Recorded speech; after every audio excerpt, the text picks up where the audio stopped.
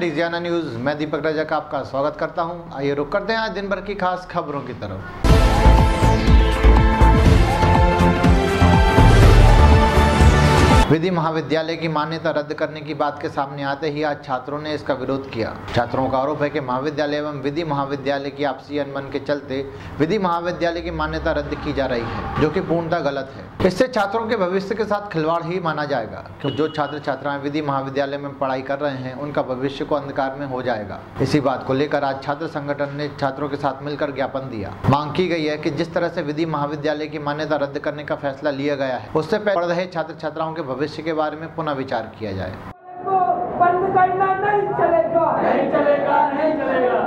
College की मान्यता को तुरंत बहाल करना होगा। करना होगा करना होगा। कॉलेज की मान्यता को रद्द करना नहीं चलेगा। साल भी मान्यता रद्द कर दी है। तो इस साल भी ये हुआ है कि उस विद्यालय की अभी मान्यता को रद्द कर दिया है। तो सवाल ये उठता है कि ये जो कॉलेज है पूरे ज़िले में एक कॉलेज है और इस कॉलेज को चालू करने के लिए काफ़ी छात्रों ने आंदोलन किया प्रथम चरण की प्रक- प्रवेश प्रक्रिया चल रही है जिसके दौरान सैकड़ों की संख्या में लॉ करने के इच्छुक छात्रों ने प्रवेश लेने के लिए आवेदन जमा किए हैं लेकिन अभी हाल ही में करना पड़ा था ऐसी स्थिति में बार काउंसिलिंग ऑफ़ इंडिया और महाविद्यालय की ज़िम्मेदारी थी कि संबंधित तकनीकी समस्याओं का इस पर समय रहते समाधान कर लेना चाहिए था लेकिन अभी हाल ही में एक खबर आई थी कि जो विधि महाविद्यालय है गुना का उसकी सरकार द्वारा मान्यता रद्द कर दी गई। इसी मांग को लेकर जो मान्यता रद्द की गई उस मान्यता को बहाल किया जाए और विधि महाविद्यालय को पुनः चलाया जाए।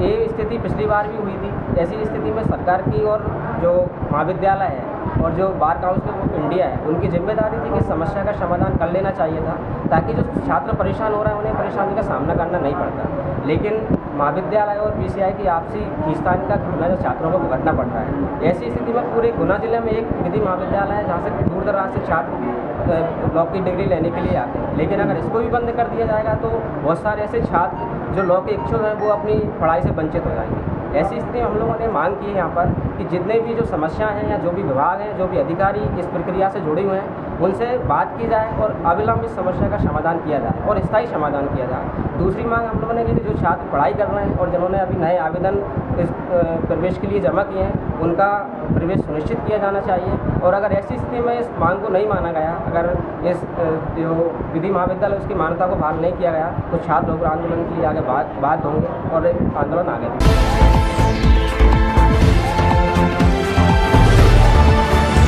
चने की फ़सल को बेचने के बाद भी किसानों के हाथ खाली। ज़िले के किसान अपनी फ़सल बिकने के बाद भी पैसों के लिए दर दर की ठोकरें खा रहे हैं। आज ऐसे ही कुछ किसान उपायुक्त सहकारिता कार्यालय पहुँचे, जहाँ उन्होंने अपनी परेशानी बताई। एक किसान का आरोप है कि गलती से उसके खाते का नंबर गलत चढ़ गया था, जिसके बाद अधिकारियों ने उसे एक एप्लीकेशन देकर जाने को बोला, जिसके बाद उसकी परेशानी हल हो जानी थी। लेकिन किसान का आरोप है की अभी तक उसको फ़सल को बेचे हुए कई दिन हो गए हैं, लेकिन उसको पैसा नहीं मिला। अगर पैसा नहीं मिला तो उसने जो ट्रैक्टर लिया है, वह वापस ले लिया जाएगा। वहीं एक किसान ने बताया कि फ़सल तुलाई के बाद भी कंप्यूटर में उसकी फ़सल नहीं चढ़ी, इसके चलते पैसा नहीं मिल पा रहा। सरकार इतनी योजनाएँ तो चला रही है, लेकिन उसका फ़ायदा किसानों को नहीं मिल पा रहा, ये समझ में नहीं आता। गलती किसकी है? किसानों की जो कम पढ़े लिखे हैं, या फिर उन अधिकारियों की जो अपने कार्यों में लापरवाही करते हैं, या फिर कुछ और?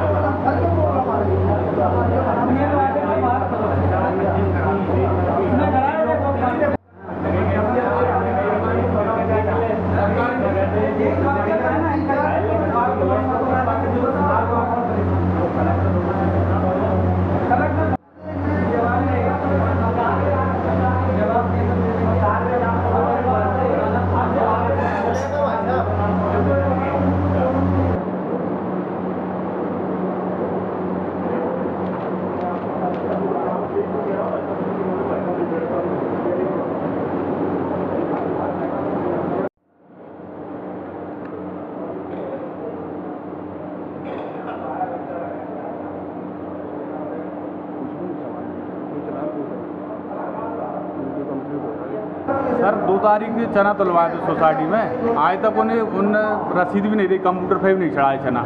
अच्छा। और का इससे हमें बहुत दिक्कत है आज तक रसीद चना नहीं चढ़े हमारे कंप्यूटर पर ना रसीद मिली हमें। तो आपका भी पैसा नहीं मिला? नहीं मिला कुछ। कितना रसीद भी नहीं मैंने चवालीस कुंटल चना डाला है। खाते पे चढ़ा नहीं चढ़ा चवालीस जा। समस्या ये आ रही है चार बार एप्लीकेशन दे दी हमने पैसा नहीं आ रहा। किस खाता गलत है। पैसे? चने का पैसा। अच्छा। चने का जो पैसा है समर्थन वाला? समर्थन मूल्य वाला? हाँ। तो पैसे नहीं आ रहा क्यों नहीं आ रहा? है क्या बता रहे हैं ये? एक अपना खाते में एक ज़ीरो ज़्यादा है। इनने की एप्लीकेशन दे तो सही हो जाएगा। मैंने एप्लीकेशन दे दी कलेक्टर साहब को दे दी कलेक्टर साहब बदल में मुझे मिले नहीं कोई मिला उनको दे दिए मैंने। अब ये ने बोला था प्रहलाद देना जाना ठिकाना देना जाना आज आज पंद्रह दिन हो गए मुझे आते आते अब कल में ट्रैक्टर खिंच जाएगा।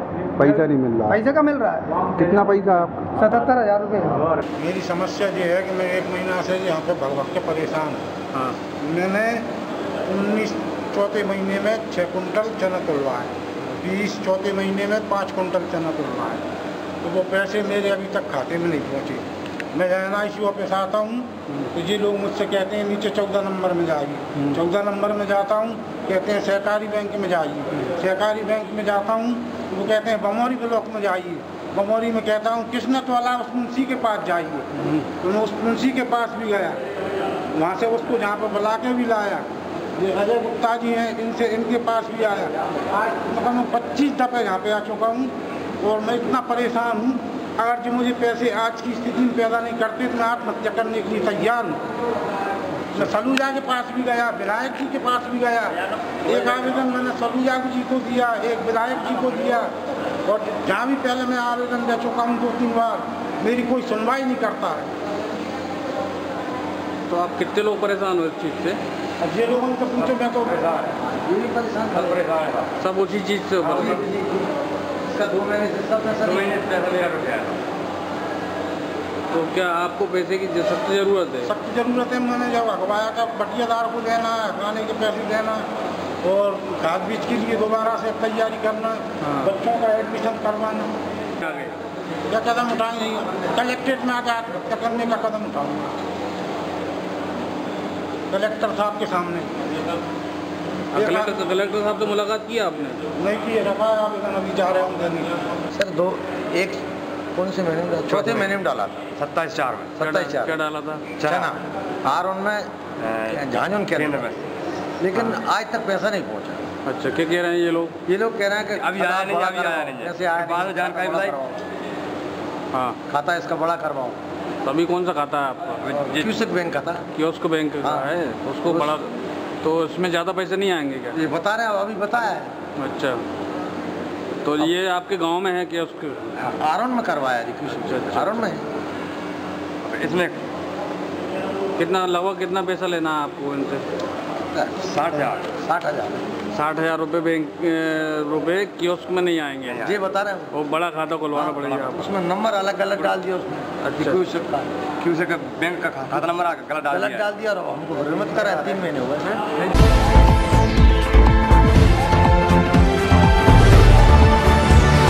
देर रात बोहरा मस्जिद चौराहे पर दो पक्षों के बीच भारी विवाद हो गया, जिसके बाद पुलिस ने दो लोगों के खिलाफ मामला दर्ज कर विवेचना में लिया है। सूत्रों के मुताबिक, दोनों युवक इंदौर में पढ़ते हैं और किसी बात को लेकर दोनों में विवाद हो गया। विवाद इतना गहरा रहा कि एक पक्ष दूसरे पक्ष को मारने के लिए गाड़ी भर के लड़के भी ले आया। इसके बाद लोगों ने उन्हें पकड़कर थाने पहुँचाया, जहाँ पर दोनों युवकों के खिलाफ मामला दर्ज कर लिया गया है।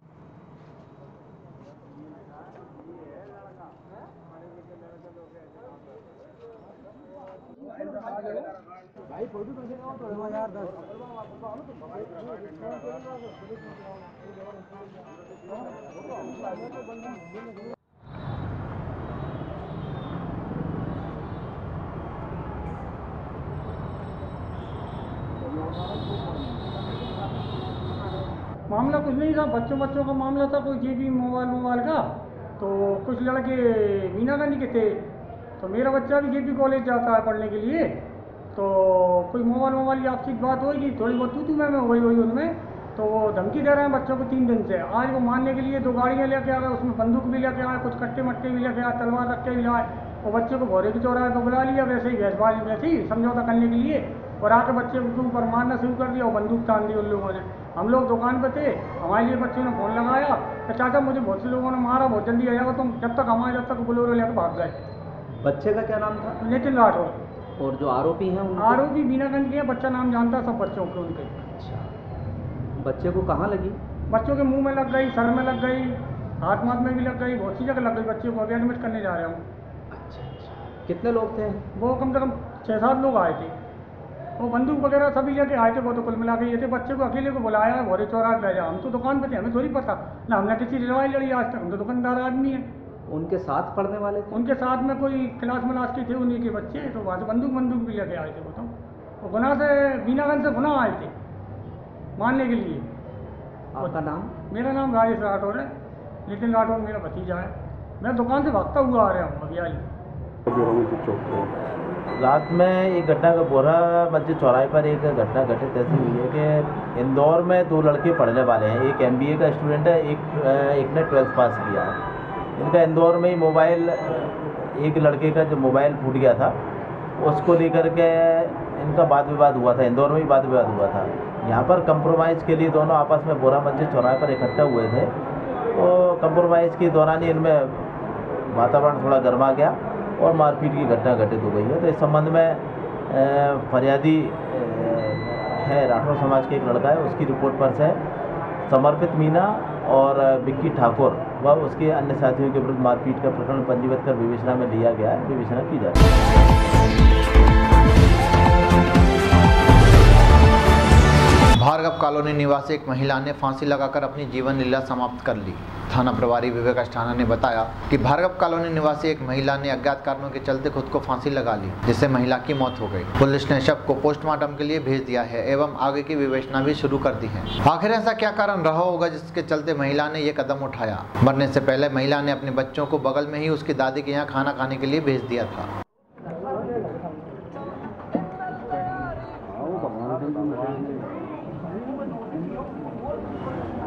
ठीक है? फांसी लगा लो लड़की। लड़की। मैं। रितु कमरे के अंदर पंखे से गले ने हाँ। गला बड़ा वो मिला। छोटी भाई छोटी भाई। ने मोबाइल फ़ोन पर बताया भाई है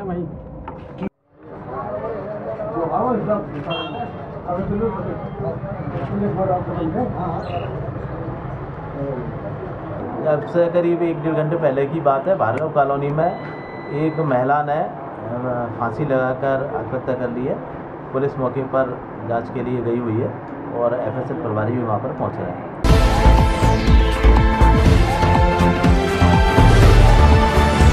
बूढ़े बालाजी क्षेत्र में एक महिला ने पेट्रोल डालकर खुद को आग लगा ली जिसे गंभीर हालत में अस्पताल ले जाया गया। थाना प्रभारी विवेक अस्थाना के अनुसार बूढ़े बालाजी पर रहने वाली महिला ने पति से झगड़ा हो जाने पर उसकी गाड़ी से पेट्रोल निकाला और खुद के ऊपर छिड़क कर आग लगा ली। महिला की हालत अभी संतोषजनक बताई जा रही है गाड़ी को ले लो आज अरे बोल तो मत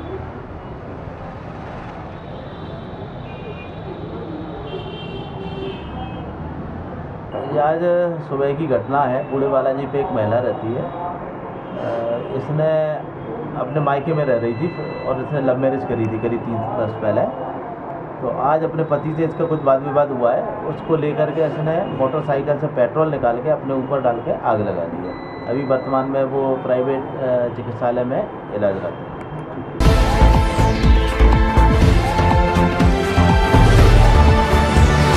तपती गर्मी में आज अचानक तेज हवाओं के साथ बूंदाबांदी हुई, जिससे मौसम सुहाना हो गया। दोपहर तक जिस तरह से शहर अंगारों की तरह तप रहा था, अचानक दोपहर बाद तेज हवाओं एवं मौसम में परिवर्तन आ गया। कुछ जगहों पर हल्की एवं कुछ जगहों पर तेज बारिश के समाचार भी हैं।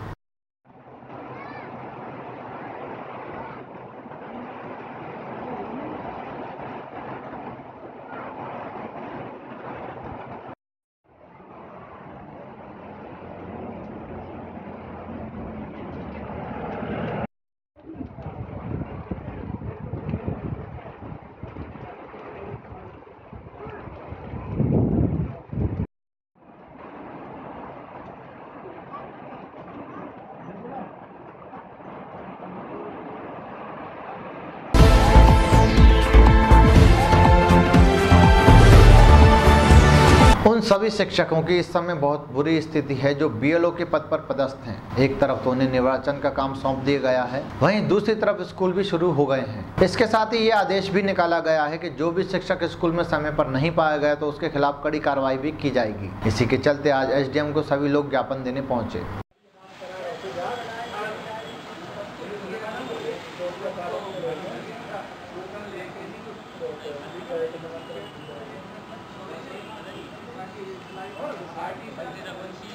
गुना विधानसभा से और हमारे साथी जो है ना गुना विधानसभा और बमौरी विधानसभा के बीएलओ साथी हैं। हम लोग निर्वाचन का काम पूरी मेहनत के साथ कर रहे हैं। लेकिन हमारे संग एक जो समस्या आ रही है कि हमारे स्कूल भी खुल चुके हैं तो हम एक व्यक्ति एक काम कर सकता है। या तो निर्वाचन का करेगा या शिक्षा विभाग का। तो हम निर्वाचन का काम जब अर्जेंट है तो इस आवश्यक कार्य निर्वाचन के कार्य को हम पूर्णता, निष्ठा के साथ पूर्ण करने, कर रहे हैं, गाँव में सर्वे कर रहे हैं, लेकिन हमारे संग एक विडम्बना है कि हमारे शिक्षा विभाग के अधिकारी और अन्य जो हमारे, जो व्यवस्था में है, वे लोग हमारा निरीक्षण कर रहे हैं और वहाँ पे हम जब गाँव में सर्वे कर रहे होते हैं तो स्कूल पे तो मिलना असंभव ही है।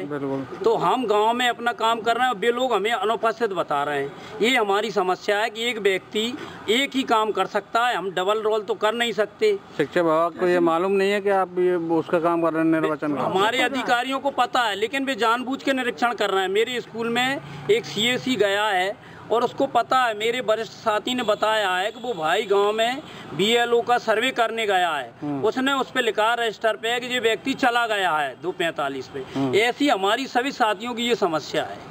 कितने कितने कितने लगभग कितने लोगों के साथ हुआ है सभी मीडिया जो तो सभी परेशान है पूरे एक भी बीएलओ ऐसा नहीं है जिसके भाई समस्या एक वो भी काम करना ये भी काम करना अब एक व्यक्ति डबल काम कैसे करेगा? ये समय एक है सर। बीस तारीख तक ये हमें करके देना है सर्वे का कार्य तो ये अति महत्वपूर्ण है।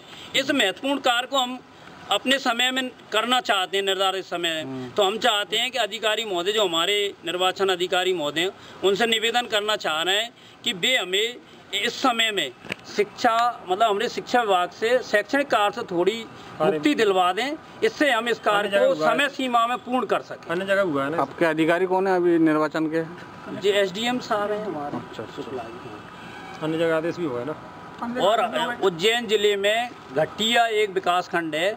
वहाँ के एसडीएम महोदय ने एक आदेश मतलब किया है कि उसका जब तक भी शिक्षा निर्वाचन का कार्य पूर्ण नहीं हो जाता तब तक शैक्षणिक कार्य से वहाँ के बीएलओ को मुक्त रखा है कि वो निर्वाचन का कार्य स्वतंत्र रूप से कर सके। अच्छा एक बीएलओ अगर नहीं स्कूल में जाएगा तो काम तो नहीं रुकेगा नहीं रुकेगा। नहीं रुकेगा ना बहुत साथी हैं। और साथी हैं वहाँ। प्रशासन के अनदेखी के चलते एवं सरपंच एवं सचिव की मनमानी के चलते रत्नागिरी स्थित प्राथमिक विद्यालय बनने के डेढ़ वर्ष बाद भी बंद है। शिक्षकों का आरोप है कि सरपंच एवं सचिव ने जिला कलेक्टर एवं सीईओ के निर्देशन का पालन करते हुए एवं उनकी नज़रों में अच्छा बनने के लिए स्कूल भवन को जल्दबाजी में बनवा दिया। इसके चलते काफ़ी कमियाँ रह गई हैं। साथ ही यहाँ पर शौचालय के निर्माण भी नहीं हुआ। इन्हीं सब चीज़ों के चलते यह विद्यालय बनने के बाद भी बच्चों के लिए नहीं खुल पा रहा। सरपंच और सचिव कुछ भी बोलने को तैयार नहीं।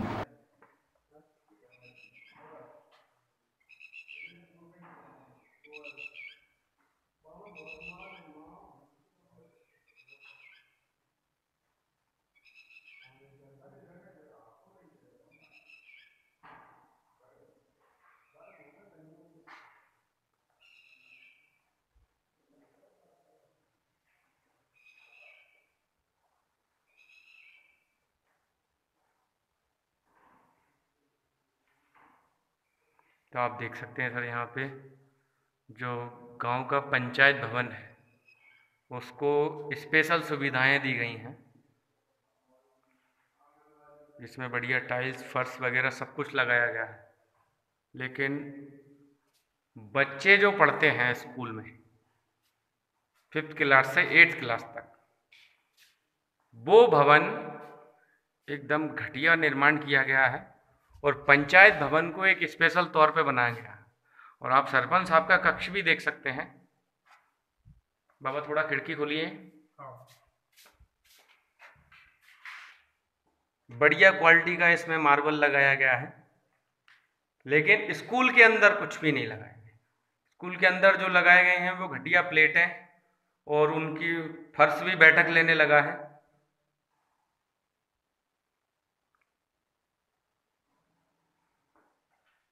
आप कौन है बाबा? चौकीदार। क्या नाम है आपका? देवकी नंदन यादव। देवकी नंदन यादव। मैं मैं तो अध्यक्ष हूँ हम्म? पंचायत का अध्यक्ष हूँ मैं मेंबर मेंबर हो आप हाँ बच्चा है इसमें से, चौकी-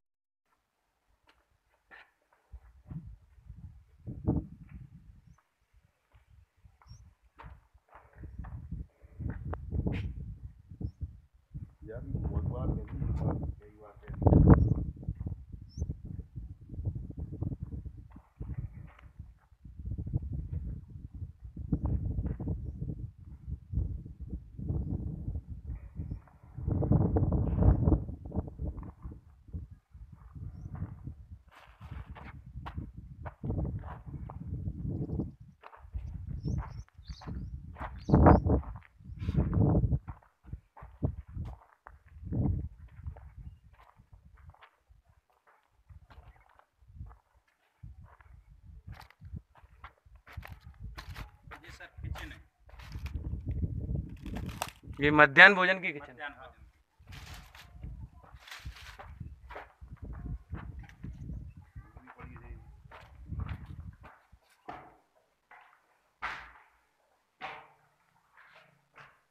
तो शौचालय वगैरह तो बना ही नहीं। इसमें नहीं बनाए और पानी की व्यवस्था नहीं है सर। पानी की भी नहीं है। पानी की भी नहीं है। उस समय बोला था कि इस, इसकी बिल्डिंग के साथ में पानी का मतलब बोर रहता है तो वो पानी इसमें कहीं भी नहीं हो रहा है।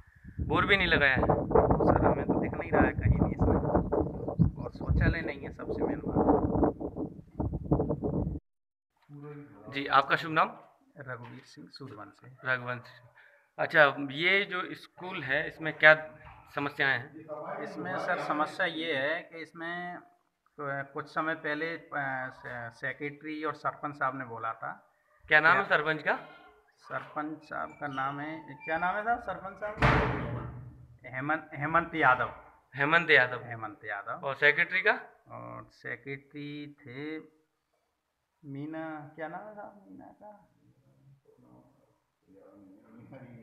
अच्छा मीना जी। मीना जी हाँ। तो उन्होंने बोला था कि सर आप हमें अभी थोड़ा सा कलेक्टर साहब का थोड़ा ज़्यादा दबाव है तो आप हमारी थोड़े इस पर साइन कर दो और मैं इसको दस पंद्रह दिन में इसको सही करवा दूँगा पूरा ग्राउंड कलेक्टर साहब का दबाव था उन हाँ हाँ। अच्छा। तो उन्होंने उस समय कहा कि आप इसको हम इसके ग्राउंड को और इसमें टॉयलेट भी बनवा देंगे और पानी की सुविधा कर देंगे। आप एक आध महीने बाद स्कूल लगा लेना। तो इसमें एक तो ये कब बोला था आपको उनने? ये चार पाँच महीने पहले की बात है। पाँच महीने पहले। पाँच महीने। लेकिन अभी तक? अभी तक इसमें ना तो टॉयलेट की व्यवस्था है सर। बड़ी बड़ी बच्ची हैं। अब उनके लिए टॉयलेट तो आवश्यक है। बिल्कुल और पानी इसमें नहीं है। पानी की व्यवस्था भी पानी की व्यवस्था नहीं है। और ये इसका जो मैदान है इसका बाहर का वो पूरा उबड़ खाबड़ पड़ा हुआ है। ये समस्या है तो ये बिल्डिंग अभी नया निर्माण हुआ है? जी सर हाँ बिल्डिंग तो नया निर्माण ही हुआ है तो नया निर्माण में आपको पता है ये कितनी राशि से बनाया गया है? अब इसके बारे में तो नहीं जानकारी। जी क्या है काफ़ी सात आठ साल पुरानी बिल्डिंग बन रही है मतलब जी। लेकिन अभी तक अपन लोगों को हैंड ओवर नहीं किया है अच्छा आप लोगों को हैंड ओवर ही नहीं किया है। सरपंच ही बदल गए दूसरे सरपंच तीन तीन सरपंच बदल चुके उस समय से। अच्छा तीन दिन सरपंच भी बदल गए हैं? तो आप देख सकते हैं सर यहाँ पे नया निर्माण होने के बावजूद भी एक तो बिल्डिंग में दरारें चल गई हैं। जी है साहब इस तरह का हम लोगों ने बोला कि इसकी थोड़ी धुलाई उलाई करवा दो सफ़ाई हो जाएगी तो बाकी हम काम करवा लेंगे तो वो भी नहीं करवाया उन्होंने सफ़ाई भी। स्कूल ये ऊपर प्लस्तर भी नहीं किया गया। प्लस्तर भी नहीं किया गया।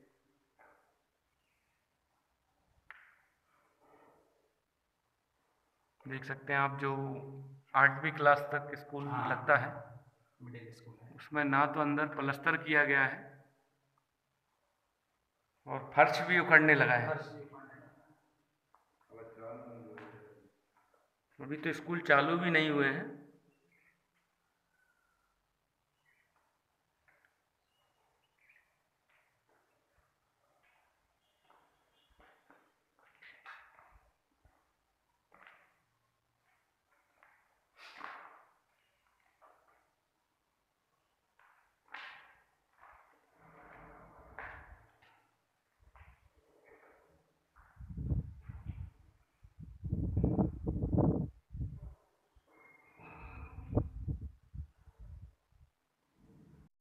मैंने गर्मियों में इसमें अपने ताले लगा दिए थे ऑफ़िस में और इसमें बरामदा में। तो पिछली बार भी हमने एक दो महीने पहले भी लगाए तो उस समय भी ताले वगैरह तोड़ दिए गए थे और अभी भी हम लोग अभी स्कूल खोले हैं तो अभी आए हैं तो अभी भी ताला तोड़ा हुआ है। और ये भी अंदर कक्षा है। जे, ऑफ़िस रूम है। जे अच्छा ऑफ़िस ऑफ़िस है जो कार्यालय है। तो इसमें गाँव वाले आकर के और अपनी गैया वगैरह अंदर घुसा जाते हैं। अच्छा। जिसका गोबर पड़ा हुआ है। सब निकल गया। सारा फर्श निकल गया?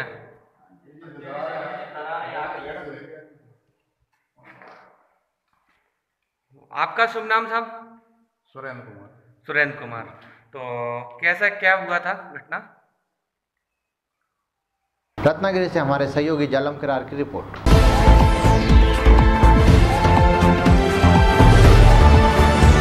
हारोन में आयोजित हुआ ब्राह्मण समाज द्वारा प्रतिभाशाली छात्र छात्राओं का सम्मान समारोह, जिसमें मुख्य अतिथि राधोगढ़ विधायक जयवर्धन सिंह एवं अनुविभागीय अधिकारी अरविंद वाजपेयी शामिल हुए। साथ ही यहाँ बड़ी संख्या में ब्राह्मण समाज के विप्र बंधु भी उपस्थित रहे। सभी प्रतिभाशाली छात्र छात्राओं को मेडल भी दिए गए एवं उज्जवल भविष्य की कामना की गई। साथ ही क्षेत्रीय विधायक जयवर्धन सिंह ने कहा कि छात्र छात्राओं को एक लक्ष्य बनाकर उसे प्राप्त करने के लिए तैयार रहना चाहिए, क्योंकि लक्ष्य के बगैर जीवन अधूरा सा है। खास बात यह रही कि ब्राह्मण समाज के द्वारा सभी समाज के छात्र छात्राओं का सम्मान किया गया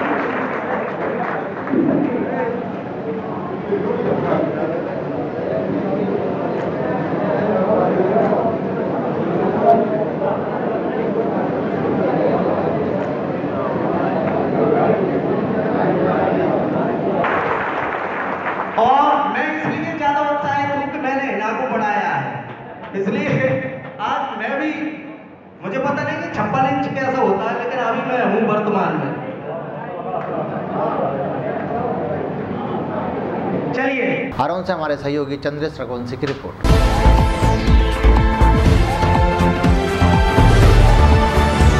विगत दिनों बीनागंज में हुए सौम्य पालीवाल अपहरण के दो आरोपियों को पकड़ने में पुलिस ने सफलता प्राप्त की है।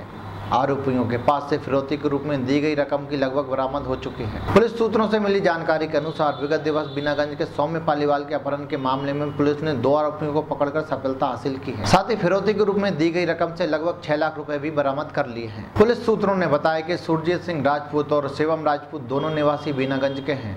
उक्त दोनों ही आरोपियों ने वारदात को अंजाम दिया था।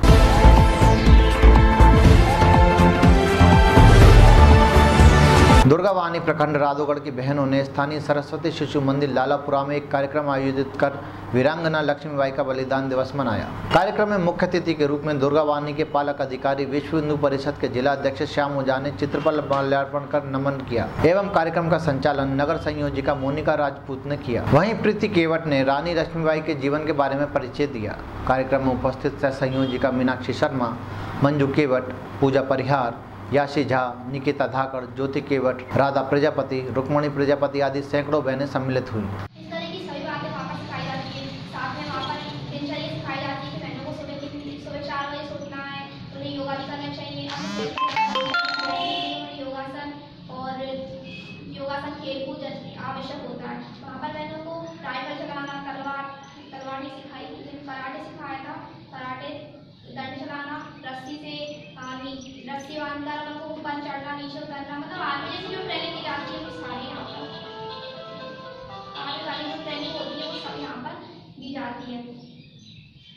मैं आप सबसे अनुरोध करूँगी कि अगली बार जब वर्ग लगे तो आप और अधिक संख्या में यहाँ से मिलने जाए, ताकि आप लोगों को सीखने को मिले।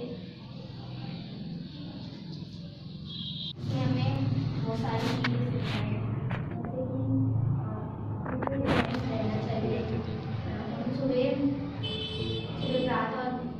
सुबह उठकर और योग वगैरह करके, योग वगैरह करके हमें सिखाया जाता था कि दंड कैसे चलाना चाहिए। चलाना चाहिए मतलब सब कुछ सिखाया गया और कैसे रहना चाहिए।